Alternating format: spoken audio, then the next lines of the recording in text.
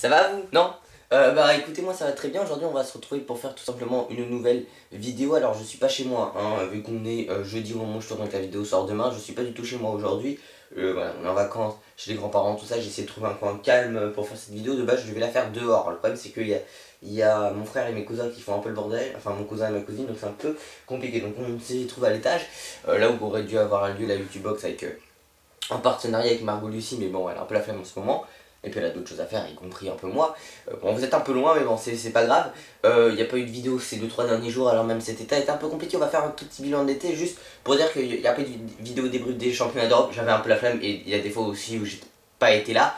Euh, ce pourquoi, du coup, je vais aussi changer 2-3 petites choses. En tout cas, c'est pour ça que je vais faire un débrief des championnats d'Europe contre la montre et course sur route chez les hommes et chez les femmes, mais également un débrief global, entre guillemets, bah, de la première semaine de la Vuelta. Euh, ce week-end. Alors aussi, euh, petite chose, si on peut parler un peu vélo et de la Vuelta, ça fait plaisir une victoire espagnole entre guillemets, parce que déjà, on les critique beaucoup les Espagnols, mais c'est quand même ceux qui, sur leur grand tour national, font une, enfin, gagnent une étape avant les Français, ou même avant les Italiens par exemple. Hein. Les Italiens sur le Giro, il leur a fallu attendre la 11ème étape, les Français, il leur a fallu attendre la 19ème étape du tour. Après, bon, le tour, tout le monde est censé être au pic de sa forme et de sa condition physique, ce qui n'est pas trop le cas un peu sur la Vuelta où il y a un peu de relâchement, tout ça, c'est la fin de saison les corps sont fatigués, tout ça. Mais bon, ça fait quand même plaisir pour les Espagnols. Est-ce que leur dernière victoire d'étape par hasard sur un grand tour Bon, Pasteur le dit assez souvent, la dernière victoire d'étape espagnole sur le Tour de France, Omar Fraile à Mende en 2018. Et d'ailleurs, les Italiens, c'est Nibali en 2019 à Val Thorens. Euh, sur le Giro, j'ai pas de souvenir si peut-être Peyo Bilbao 2019, sinon j'avais Valverde 2016. Et puis bah sur le Tour d'Espagne, genre l'an dernier, on n'a pas eu. Donc peut-être Marc Solaire en. Euh, Ouais, peut-être Marc Solaire à la limite en 2020 sur la deuxième étape, je crois. Sur Roglic a dû en gagner 3 ou 4 cette année-là, en 2020, sur les 18 étapes. Voilà, d'ailleurs, la, dernière Vuelta sans victoire française, ça remonte à 2012. C'est pour dire. Parce que 2013, il y a eu la victoire de Kinisson d'Alangliru sur l'un des cols les plus durs d'Europe, avec le Montezan de Colan, et également victoire aussi de deux victoires d'étape de Warren. Mais on va un peu s'arrêter sur la parenthèse. 2014, je sais pas du tout. 2015, ouais, 2015, il y a eu Goujard par exemple. 2016, bah, il y a eu Géniez sur la troisième étape, la quatrième pour euh, pas pour Kenisson malheureusement, mais pour Lilian Calmejane. Et puis, enfin, moi je dis malheureusement parce que, que Kenisson, j'aime bien. D'ailleurs, sur les il y a eu 7 euh, maillots à poids sur les 14 dernières années euh, pour les Français sur la Vota. Le maillot blanc à poids bleu. Après, bon, il y en a 4 pour mon coutier. Bardet pas passé loin l'an dernier. Bon, il y a eu aussi, comment il s'appelle notre ami Nicolas Aidé qui en a remporté. Et puis aussi, bah, il y a Kenisson en 2016 qui échoue pour 1 point. Mais bon, voilà. Et puis bon, il y a eu du 2020 de 8 heures d'étape. Il y avait aussi en 2016, c'est Pierre Latour sur la 20ème étape. 2017, bah, Julien Philippe sur l'étape 7 ou 8. Là, quand Contador remonte. Après, on n'est pas le souvenir. 2018, bah, il y a Géniez, il y a les deux de Thibaut Pinot. 2019, il y a euh, Rim Cavagna. Après, là, j'ai un peu des doutes sur 2-3 autres euh, étapes de la. Et puis 2020, les deux de Godus, on l'a dit. Et puis l'an dernier, la 13 e étape pour Florian Sénéchal, la 14e pour Romain. Et puis la 20ème pour Clément Champoussin. J'ai juste écarté un, petit truc. Alors, également, je voulais faire un petit bilan de cet été. Alors, cet été, que j'attendais énormément. Vous savez que la période que j'attends le plus, c'est l'été. Notamment avec le Tour de France. Tour de France, là, on commence un peu, pas à s'y préparer, mais on commence à un peu voir les étapes qu'on pourra avoir l'an prochain. Mais surtout, le Tour de France, je l'attendais énormément. Peut-être pas autant qu'en 2021, quoique 2021, j'attendais surtout la première étape et la présentation des équipes. Même si j'étais aussi sur la deuxième, la troisième, la quatrième et les Champs-Élysées, j'attendais beaucoup la première étape Dès par contre, je, je, m'étais dit victoire Philippe, ça a été le cas. Mais euh, d'ailleurs, c'était la seule victoire d'état française cette année-là. Et euh, cette année, on a eu une seule entre Castelnau Marognac et Cahors pour euh, Christophe Laporte sur la 19e étape. Et l'an dernier, on avait une autre. Enfin, la Philippe, c'était entre Brest et Landarno. Et puis aussi, Nance Peters aussi, c'est dans les trois dernières avec l'étape entre Caser-sur-Garonne et Loudanviel. En 2020, bon après il y a eu les victoires de Julien, de Thibaut et compagnie, mais voilà, juste pour les trois dernières. Euh, pas aujourd'hui, pas de point BNB, pas de point média. Euh, point BNB, ah, point BNB, parce que c'est censé être une vidéo mercato, on va un peu parler de tout et n'importe quoi. Euh, point BNB, si on va le faire, point BNB Paris Cycling Club, que je vais encore critiquer, parce que selon moi, la seule équipe de région parisienne potable, c'est Saint-Michel Aubert 93, qui ont perdu euh, mais on va en parler dans cette vidéo. Mais d'ailleurs, il y a eu des prolongations, Turgis jusqu'en 2025, chez Total notamment. Et Quintana jusqu'en 2025 avec les histoires de dopage, je sais pas si on en parlera dans la prochaine vidéo. Et bon voilà, D'ailleurs, j'ai même plus de vidéos en RAM en Pro Team en Pro D'ailleurs, je m'en excuse pour la dernière vidéo de Pro enfin l'épisode de Pro sur le début de la saison. C'est vrai que déjà, en fait, j'ai perdu les rushs des étapes 2 et 3. J'ai eu un rush sur l'étape 1 et en fait, c'était du Pro et pas du Pro Je m'en excuse, mais c'est vrai que j'ai perdu ces rushs, c'est dommage parce qu'il y avait une très belle victoire d'étape. je suis un peu dans l'échappée, tout ça. Non, de base, je vais rouler pour prendre les points de la montagne, j'en prends que deux euh, sur la deuxième difficulté de deuxième catégorie. Mais après, euh, je suis au pied de la montée, euh, voilà, je reste, je prends mes gels, etc., le gel le gel rouge. J'attaque un, peu avant la flamme rouge et j'accélère après le passage sur la flamme rouge. J'accélère avant le virage et après, fin du sprint après le virage et je gagne.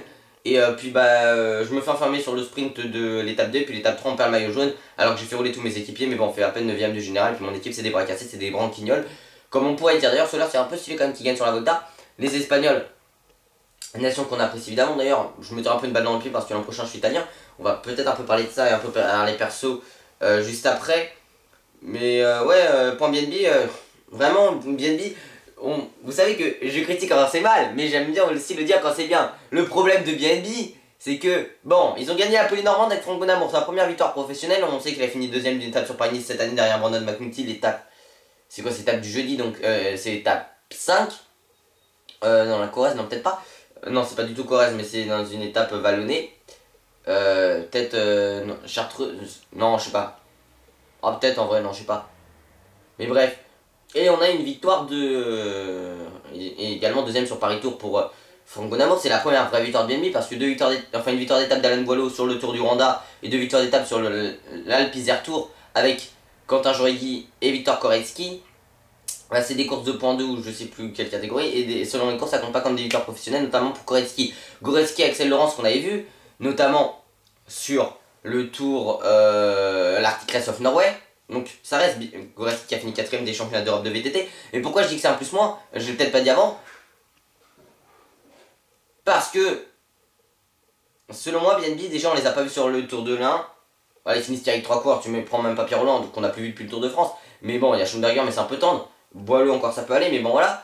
Bon, Laurence et le stagiaire aussi ont été très bien sur l'articulation de Norvège. Je crois que le stagiaire finit 6 de l'étape peu remportée par euh, devant Bossenhagen. Mais Bossenhagen qui a pris des points parce qu'au classement UCI, Movistar sont un peu dans la merde. Mais pour les invitations, c'est euh, les points de cette année. Je rappelle que c'est les points sur les 3 dernières années 2020, 2021, 2022 et ainsi de suite euh, pour les prochaines saisons. Mais là, c'est 18 meilleures équipes qu'on garde pour le World Tour. Et ce sera au cumul des points des 10 meilleurs coureurs. Et pour les invitations automatique donc pour la 19e et 20e place, c'est sur les points de seulement cette année. Et Total n'en ont pas tant de retard sur euh, Israël, même si Israël ont pris 40 points hier, mais vous avez capté sur la Volta, enfin au moment où je tourne avec euh, la victoire de la Reniped d'ailleurs. Petite faute de groupe mais déjà on peut dire, mettre euh, photo en 2020 pour Rudy Moulard et en 2022, c'est 2018 hein, qu'il a eu le maillot rouge. Je me dis, il va faire comme Vauclair, il va aller loin, première étape de montagne, il pète. Hein. Sympa, on apprécie juste après, l'étape que Gaudier avait remporté en 2020 d'ailleurs. c'est pas le taux de la Foyenne, non je sais plus, c'est la 20ème qu'il avait gagné. Euh, enfin la 17ème du coup, mais bon, vous avez capté. Euh, enfin, oui, 17ème étape, l'avant-dernière de la Volta. Alors, euh, si on peut un peu plus parler, je regarde juste le temps, hein, 8 minutes de vidéo, c'est vrai que ça fait un peu beaucoup, mais j'ai un peu envie de parler, on reste sur ce point BNB, aussi parce que BNB on les a pas vus, à part deux top 10 légers, et un peu dans le final quand même, du Tour du Limousin, parce que je vais dans la étape juste un tout petit peu, parce qu'il n'y avait pas les championnats d'Europe à ce moment-là, ni la Volta. Bon, Aramburu qui a gagné une étape plus le général, premier athlète espagnol, j'ai vu ça sur Infosport Plus, a gagné le Tour du. Cortina aussi n'a pas été pris sur Volta. Bon, écoutez, ils sont même sur une course de Malaisie, j'ai vu ça sur cette équipe euh, Movistar. En même temps, un peu Movistar, s'ils sont dans la c'est un peu leur problème parce que ces mecs-là, j'ai rien contre Movistar. Mais à partir du moment où ils ne jouent pas les Flandriennes, ils ne jouent quasiment pas les sprints, à part Cortina ou Aramburu de temps en temps, mais Aramburu est un peu puncher aussi. Enfin, en tout cas, c'était Dev qui le met un peu plus, euh, mais il a quand même une bonne pointe de vitesse mais que t'as seulement Cortina et qui pèse pas trop sur l'équipement flandrienne, est-ce qu'un top 20 c'est déjà compliqué pour lui? Bah, avec tu les joues quasiment pas pour Movistar, alors on avait vu un peu le Suisse, c'est vrai, bon, Mühlberger ça c'est de moins en moins bon, mais encore ça peut passer pour Mühlberger, bon, Gorka sont un peu vieux, Jürgen ça des bons, hein. Mais euh, pareil, Verona était très bon cette année en gagnant une étape sur Dauphiné, il y a seulement une étape de Grande Camieno, plus le général de Grande Camieno pour Valverde et une autre victoire d'Alejandro sur, euh, j'ai oublié le nom, sur euh, une des une des euh, courses du Challenge de Mallorca. Et par contre, euh, Movistar aussi, bah, c'est vrai qu'ils ont des, euh, le champion du Brésil, mais bon, c'est un peu compliqué pour lui. Puis bon, ça pèse pas trop sur la. On a vu sur le Tour de Burgos, Movistar n'était pas là. Même tour, c'est compliqué. En même temps, le nombre de points qu'ils ont perdu avec Mas avec son abandon, et même Lopez en dernier aussi. Bon, d'ailleurs, la série Movistar, on peut pas la trouver sur en France sur Netflix, c'est un peu dommage. Et je voulais entamer un point un peu plus perso, quoique point bien aussi, et j'ai mis en plus parce qu'il n'y a toujours pas eu de recrue. On est le. On va, rouler, on va rouler en sur le téléphone parce que j'en ai un peu besoin tout à l'heure. On est midi 3 en ce 25 août, ce jeudi 25 août 2022. Donc, toujours pas de recrue, ça nous parlait de Marc Cavendish, du Caseball, de Nick Schulz, de, euh, de Kido, ça nous parlait aussi de Michael Matthews. Bon, après si je peux me faire un, point euh, un, plutôt un grand bilan de cet été, il n'y a pas de point média, qu'on peut renommer point série Guimard aussi, mais ça je reviendrai peut-être dans la prochaine vidéo. Euh, assez compliqué honnêtement cet été parce que je l'attendais à fond. Alors retour de France et tout, mais j'ai l'impression d'être un peu arrivé en bout de cycle. En même temps ça fait deux ans que je n'ai pas coupé avec les vidéos. Mais même j'ai envie de dire trois ans parce que je faisais des vidéos mais je ne les postais pas parce qu'il n'y avait pas de micro tout ça, j'avais pas de logiciel de montage et puis aussi j'avais un peu la flemme de le faire sur TDF19 donc ça fait vraiment trois ans. Depuis peut-être octobre-novembre 2019 je, je me sentais pas très bien tout ça, j'ai eu des burn-out et tout, j'en ai un peu parlé avec le vélo tout ça, c'était compliqué, j'avais plus de plaisir. Je me sentais de moins en moins bien, évidemment j'ai déménagé tout ça, ça voilà j'ai plus vu des amis depuis longtemps. Mais euh, c'est vrai que euh, ah, c'est un peu euh, triste entre. Enfin c'est. Ouais, et finalement ça faisait longtemps que je m'étais plus senti aussi bien de cet été. Un peu je veux dire, un peu été de renaissance, je sais pas, mais vous avez capté, ça faisait vraiment longtemps que je m'étais pas aussi, senti aussi bien. J'ai un peu pris, repris confiance. Alors peut-être que les résultats du DNB euh, compteront là-dedans. C'est vrai. Après, j'ai aussi un peu discuté avec 2-3 personnes. Il y en a une, euh, notamment une fille qui était dans ma classe, qui m'a un peu remis en confiance. Bon, je, je citerai pas son blaze. De toute façon, aussi, je me suis posé une question qui regarde vraiment mes vidéos? Parce que les personnes de ma famille ne le regardent pas, mes potes non plus. Il y a juste moi, mais c'est juste pour mettre un like et regarder les 30 premières secondes pour ça compte comme une vue. Mais je sais pas qui les regarde. C'est un peu bizarre. Dites-le moi dans les commentaires d'ailleurs, dites-le moi dans les commentaires ce que vous voulez pour la rentrée. Je vais peut-être faire une FAQ sur Insta, mais ça risque d'être un peu compliqué. On s'est mis aussi à TikTok, on a créé un compte secondaire sur Insta, mais c'est vrai que c'est un peu compliqué. Et l'été, bah, TDF aussi, à force de faire le 15, le 18, le 19, le 20, le 21, le 22, à un moment ça commence à peser, c'est quand même le 6ème TDF que je fais. Bon, le 15, je faisais toutes les étapes, mais j'y suis resté 2 ans parce que j'ai entre Noël 2016 et Noël 2018. J'ai fait seulement 6 mois sur TDF 18 et puis après j'ai beaucoup enchaîné. Déjà le confinement ça m'avait requinqué parce que j'étais j'ai du mal à suivre les résultats. Je me sentais moyennement bien entre déménagement, euh, j'avais beau avoir presque tous mes potes dans ma classe. C'était moyen, les résultats scolaires ça passait. En vrai, euh, c'était un peu plus compliqué. J'ai un peu fait une overdose parce que le foot, j'arrivais de moins en moins à suivre les résultats. Euh, le vélo aussi, j'étais un peu moins épanoui, tout ça. Je voulais faire aussi les vidéos, tout ça, mais c'était vraiment compliqué. Et c'est vraiment bah, le confinement qui m'avait un peu plus redonné envie dans le vélo, tout ça. Parce que je, je, je j'arrivais pas du tout à suivre les résultats, ce que je déteste ne pas arriver à suivre les résultats en, euh, euh, en, début de saison 2020 même si j'étais un peu revenu sur Paris, mais c'était vraiment assez compliqué. Et là, bah, je me sens très bien tout ça. Et puis l'été, c'est censé aussi permettre de récupérer euh, un peu, de recharger les batteries, de repartir pour une nouvelle année. Je vais pas évidemment lâcher comme ça parce que, bah, je le dis honnêtement, les réseaux sociaux, c'est le seul endroit où je peux montrer un peu ma personnalité, tout ça, euh, et être vraiment moi-même. Donc c'est pour ça que je vais pas arrêter, je pense, euh, maintenant, et même que j'ai envie de rester.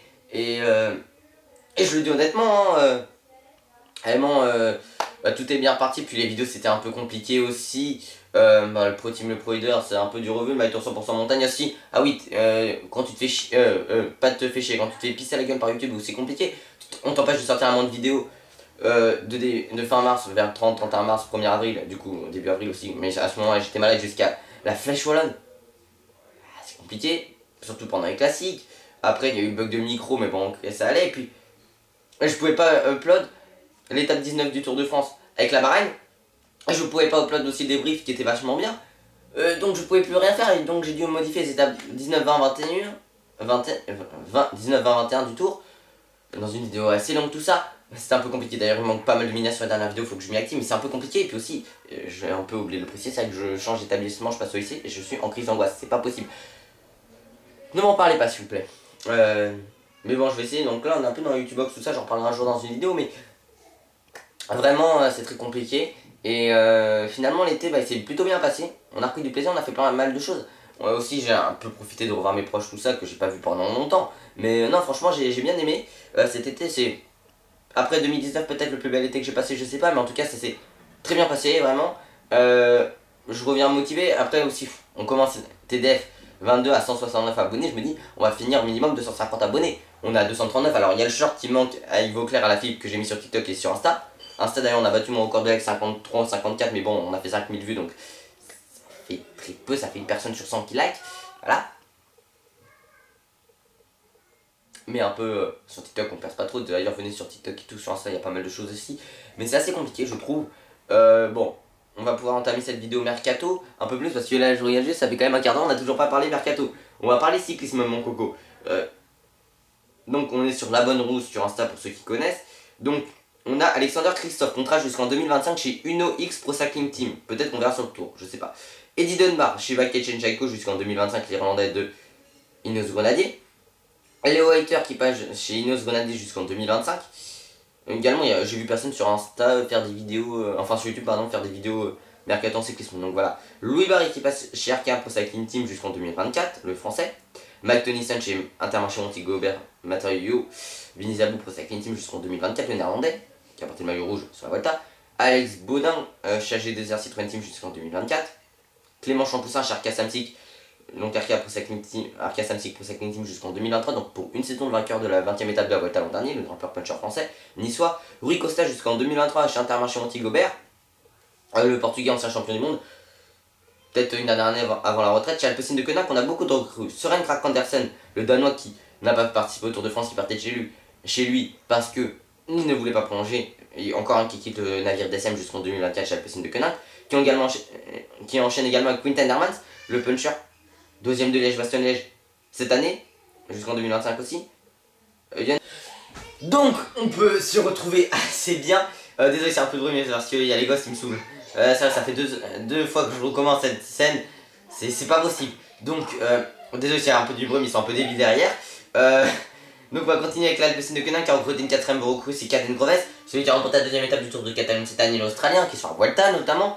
Dans cette équipe Alpecin de Quenin, on savait qu'il y avait Mathieu Darpoul, qu'il y avait Tim même, ou Tim Merlier, je sais plus comment on prononce, mais c'est Tim qui s'est barré. D'ailleurs, c'est comme Marc Solaire. Peut-être qu'on dit Solé. Je sais plus, j'ai beau faire espagnol, on nous a pas parlé trop des prononciations comme ça des en ER, enfin à la fin. Quoique, enfin peut-être, je sais même plus, ça fait 3 mois que j'ai plus parlé espagnol.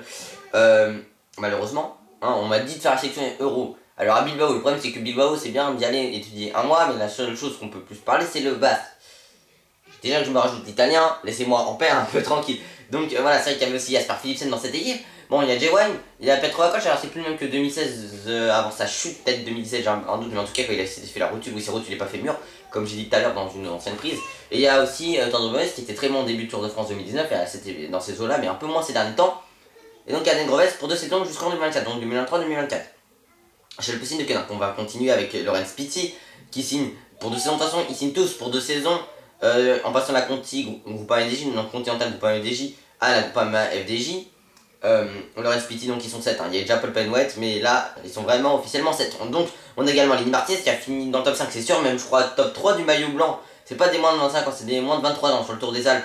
En avril, il a fini également 8ème de la Mercantour Classique après avoir énormément roulé pour David Godu qui a fini 3ème battu par Michael Woods et Jacob Fugelsang. Également Thibaut Pinot était sur cette course, avait beaucoup roulé pour David Godu, donc Godu fait 3 et Martinez fait 8, ce qui est quand même assez honorable pour quelqu'un qui a fait un énorme rôle d'équipier pendant toute la journée et et qui est notamment sur le Tour de l'avenir. Alors je dis peut-être une connerie, je crois qu'il a peut-être remporté le Tour de la Vallée d'Aoste chez les jeunes. En tout cas, il est leader de l'équipe de France sur le Tour de l'avenir. Le Tour de l'avenir, pour ceux qui ne connaissent pas, c'est un mini Tour de France de 8 étapes euh, en sélection nationale pour les jeunes de moins de 23 ans. Lenny Martinez en fait partie pour l'équipe de France. Il me semble qu'il a déjà dans cette équipe Conti ou pas LDJ, 10 des 13 corps ont gagné une course. Hein. c'est ça depuis le début de la saison. Et euh, Lenny Martinez, c'est intéressant, bon, il fait partie de la lignée des Martinez. C'est un grimpeur, on espère un, héritier de Bernardino euh, pour gagner le Tour de France, mais bon voilà, un mec Romain Grégoire. Mais il me semble bien qu'il a remporté le Tour de la Vallée d'Aoste, tout comme. Euh, alors j'ai vu les 5 premières minutes de la vidéo d'Alex Gaming. Alors Alex Gaming, ça fait longtemps que je peux regarder. J'ai peut-être vu une vidéo ou deux en 2021, mais j'ai plus regardé depuis, j'ai juste, je me suis juste tapé les 5 premières minutes de Lynn Martinez à la série euh, Jeune Crack ou, Jeune Pépite. Mais ça m'a un, peu saoulé. Et après, j'ai regardé, ça c'était pour le premier épisode et l'un des derniers épisodes vers fin juillet, début août, que j'ai regardé quand même, peut-être début août, que j'ai regardé juste pour voir, j'ai regardé quoi, deux minutes juste pour voir tout simplement euh, les évolutions qu'il a vues, c'est assez intéressant, Lenny Martinez, donc très bon coureur. Lorenzo Germani également deux ans, tout comme Lenny, mais Lenny Martinez a 19 ans, Enzo qui est français jusqu'en 2024. Germani il me semble qu'il est italien. Robin Thompson, un néo-zélandais, il y a des néo-zélandais, c'est étonnant parce qu'on en voit, il est très peu. Après il y a George Bennett, qui bon, c'est vrai que c'est pas tout ce qui est canoë, voile, il me semble que les canoës sont forts les néo-zélandais, mais enfin tout ce qui est bateau, donc notamment la voile, ni le rugby, donc c'est vrai que c'est un peu compliqué. les, néo-zélandais ils passent un peu chez les jeunes au foot, mais après ça devient peu compliqué, même on les voit quasiment plus. Mais bon, Robin Thompson, également qui peut faire partie de cette ligne après les Dion Smith aussi qu'on a vu il y a quelques années, ou Jack Bauer, Ray Jack Bauer aussi qui avait eu, et même, euh, comment il s'appelait le lanceur là, euh, euh non, Shane Archibald, qui était chez Aquistap à l'époque pour Sam Bennett en 2020. Également Romain Grégoire qui a remporté l'étape du, Tour de l'Avenir au moment tournière. Alors il était à 5 minutes au général. celui qui a remporté également le titre de champion du monde, euh, non, pas de champion du monde, de champion d'Europe junior l'an dernier, euh, celui qui vient comme Thibaut Pinot de la Bourgogne. Donc je disais que Romain Grégoire, on avait vu que c'était un peu une star vers chez lui, notamment sur un reportage de France 3 Franche-Comté, Bourgogne-Franche-Comté sur YouTube il y a quelques temps.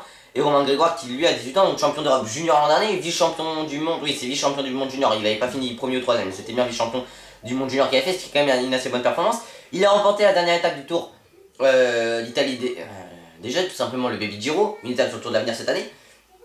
Mais également, bon, il est à 100 mytho général, certes, il se considère un peu plus comme puncher, il a notamment remporté Liège-Bastogne-Liège 23. Le dernier français qui avait remporté Liège-Bastogne-Liège 23, c'était quand même Guillaume Martin.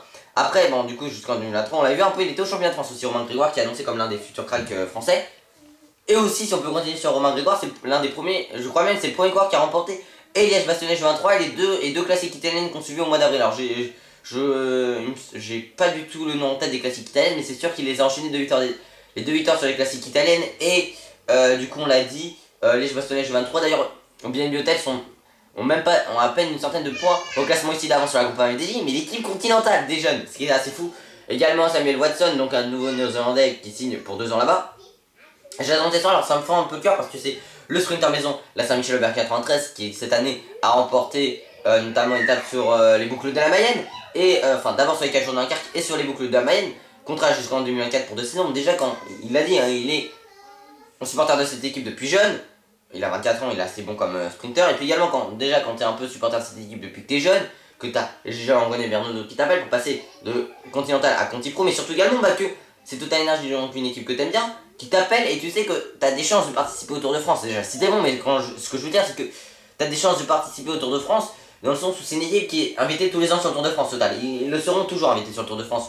Prochain, il y aura 22 équipes sur le Tour de France.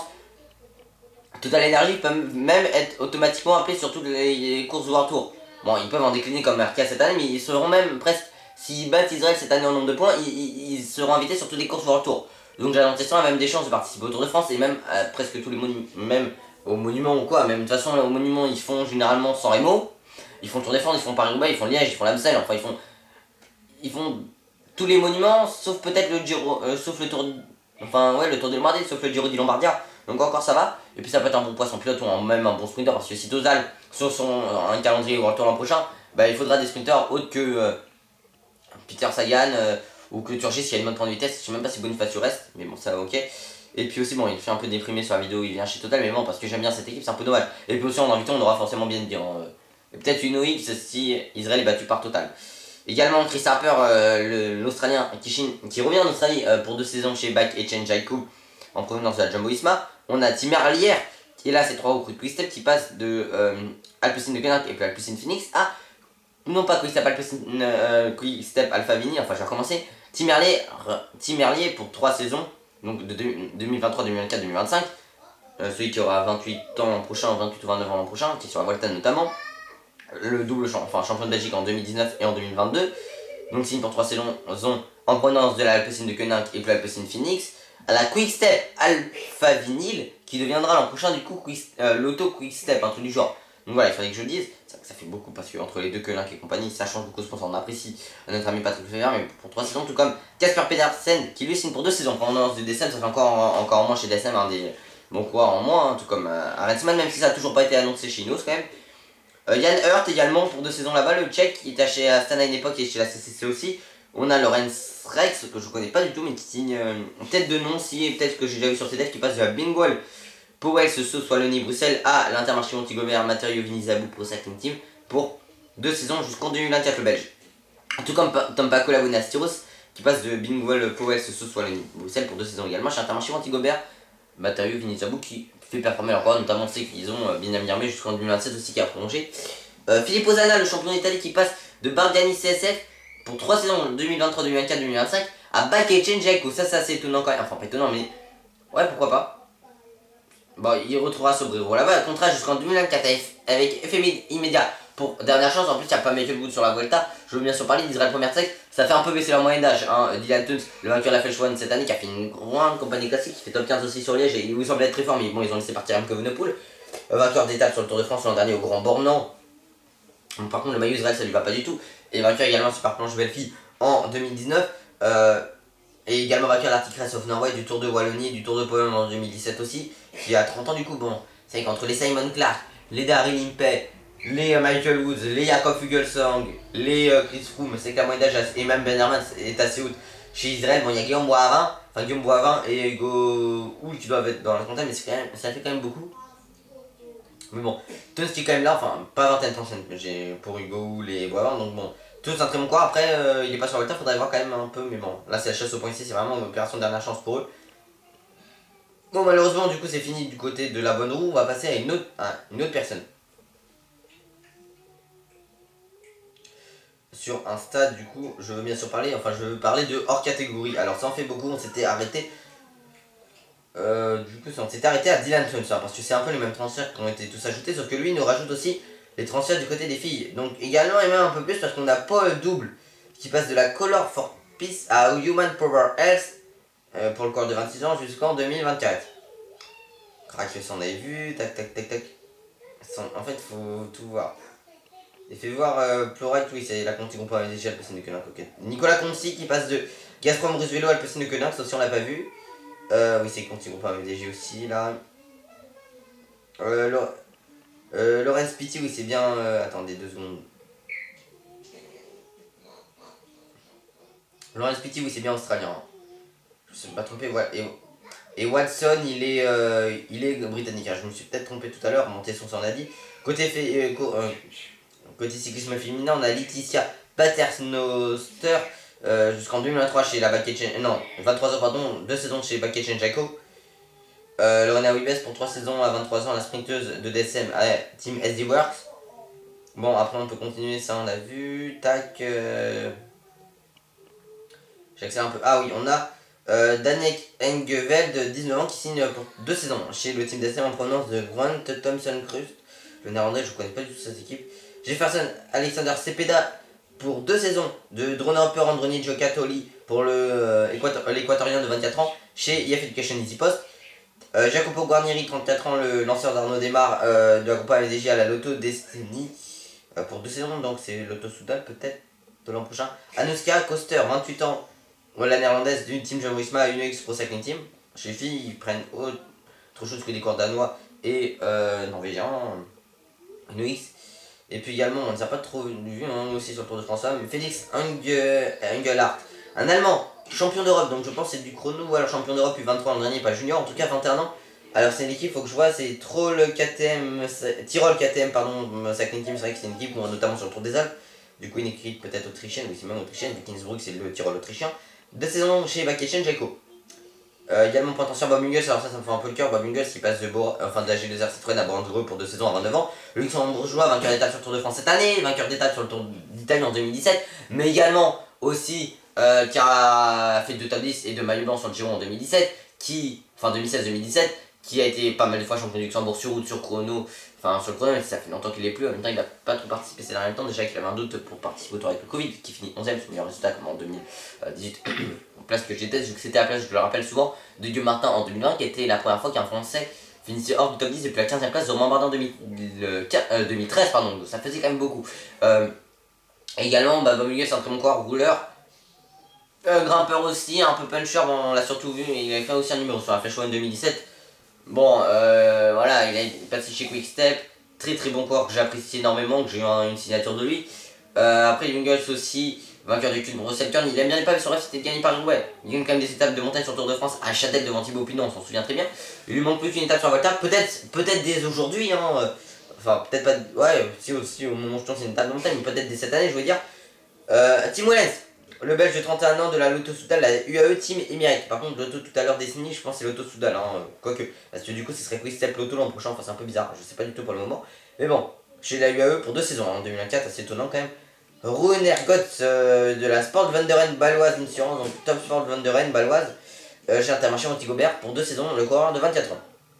Qu'on a notamment vu sur TDF. Arne Marie, euh, ou Marie, je sais pas comment on dit, 23 ans pour deux saisons, chez Intermarché Antigobert en prenant de Sport Vanderen Baloise. Ils prennent Bingol et Sport Vanderen aussi. Pour 27, le coureur de 27 ans, Louis Bendixen Team Coops à une Pro Cycling Team pour deux saisons jusqu'en 2024 du coup. Euh, pour un mercato avec euh, l'arrivée à 27 ans euh, du Slovène, un autre Slovène chez UAE Team Mirek, qui est pas né malheureusement en moment parce qu'on sait qu'il dans les cracks.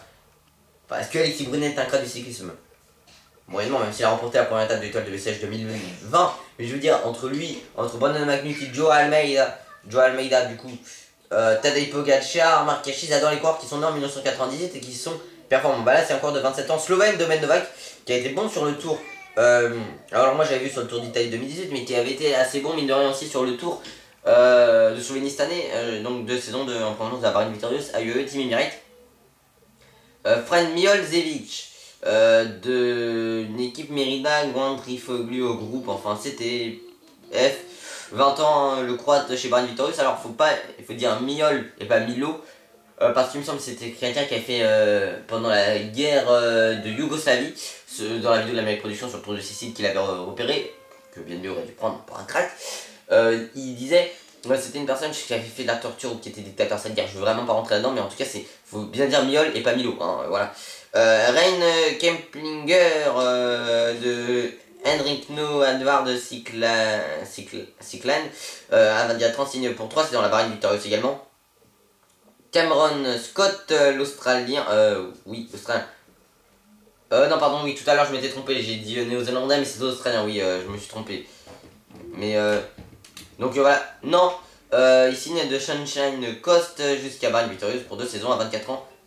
Euh, de Gex Jen, la coureuse du team Coupe euh, E-Tech Product, jusqu'à. Euh, enfin, pour deux saisons team, Marine, euh, team Bike Exchange Jaiko, donc à 24 ans, jusqu'en 2024, très bien. Et puis également Mavi Garcia, 38 ans, qui passe de UAE Team ADQ, euh, l'espagnol, euh, dans le top 10 du dernier Tour de France, 10ème, il me semble 9 ou 10, je crois, 10ème derrière Vita Music parce qu'il a perdu une place sur la dernière étape. Evita finit 8 et Juliette 4, mais elle va du côté pour deux saisons du côté de Live Racing Extra. Live Racing, du coup, très bien. Et puis euh, Mike Bougart, 23 euh, ans, jusque. Euh, enfin, du UAE Team ADQ. pour deux saisons, donc jusqu'en 2024, pour AG Insurance Next, NXTG. Donc, Nix. Enfin, je. imprononçable. NXTG, on va dire. Mais ça, faut peut-être pas trop le dire. Et puis, premier mercato, Elmarn Reinder de Team Rival Platform.s. Euh, pour deux saisons. Hein, le néerlandais de 30 ans du côté Team Back Exchange Jaco jusqu'en 2024, c'est beaucoup de contrats de deux ans. Lois Adegest, euh, la néerlandaise de 26 ans du team euh, I. Enfin, de BCT, c'est I ou un BCT, je sais pas, enfin BCT, on va dire ça. Euh, Cycling Team pour deux saisons, hein, jusqu'en 2024, du côté de FDJ Suez Futuroscope Nouvelle-Aquitaine. Enfin, FDJ Suez Futuroscope l'an prochain.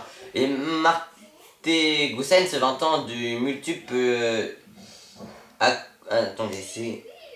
Accountant Lady Cycling Team jusqu'en 2023, donc pour une saison du côté du team AG Insurance NXTG. Et du côté également de Gladys Vorest, euh, la française de 25 ans, vice-championne de France du col, de l'équipe du col qu'on a vu échapper sur la première étape du Tour de France signe pour deux saisons du côté de la FDJ Suez Futuroscope nouvelle à Aquitaine. Je regarde juste le temps, ça fait déjà 13 minutes la vidéo, c'est quand même beaucoup. Et euh, également euh, Morten Alling euh, Northoff, pardon, euh, du côté de Team Jumbo Visma Academy également pour deux saisons. On trouve également Andra Pasqualone, 34 ans pour deux saisons du côté du Team Marine Victorious. Dusan Rajovic, deux saisons du côté du Team Victorious, le stade de 24 ans. Steph Kras, 26 ans du côté de Total Energy, qui a lui qui a abandonné la Volta pour deux saisons également. Et puis du côté de Diane Van 30 ans pour deux saisons du côté du team Jean le vainqueur de Paris-Nice, trois saisons, pardon, euh, pas de Paris-Nice, de Paris-Roubaix, jusqu'en 2025 également, tout comme Whitlow Calderman, trois saisons, pourtant le Néerlandais de 31 ans, voilà, et également Richard Carapaz, 29 ans, du côté, pour trois saisons d'Iafé-Education, ne disait pas, s'ils sont peut-être pas sûrs de son retour, quoique. Luca Ricciardo, du côté de Team Nice SF, pour trois saisons, euh, deux saisons, pardon, à 25 ans, du coup jusqu'en 2024. Lisa Klein, à 26 ans, euh, passe du Team Canyon SRAM à Trek Segafredo, Maria Benito jusqu'à qui a 25 ans euh, de Massi Tactique jusqu'à Edge Insurance NXTG jusqu'en 2024 et on peut également finir par Amanda Sprat à 34 ans passe du team Jaiko à la Trek Sega Fredo. Et également euh, Gaila Riani à 21 ans passe de Bianchi Victoria à Trek Sega Fredo voilà, j'espère que cette vidéo vous a plu. Si c'est le cas, n'oubliez pas de vous abonner, activer la cloche de notification, liker, partager, commenter, devenir mon gentil Insta et sur TikTok, c'est Cyclisme 3D. Pas mal de vidéos qui reviennent. La vidéo risque d'être assez longue, peut-être en deux parties, quoique non, en vrai, je sais pas. Euh, bref, c'était Cyclisme 3D, portez-vous bien, à la prochaine, ciao ciao.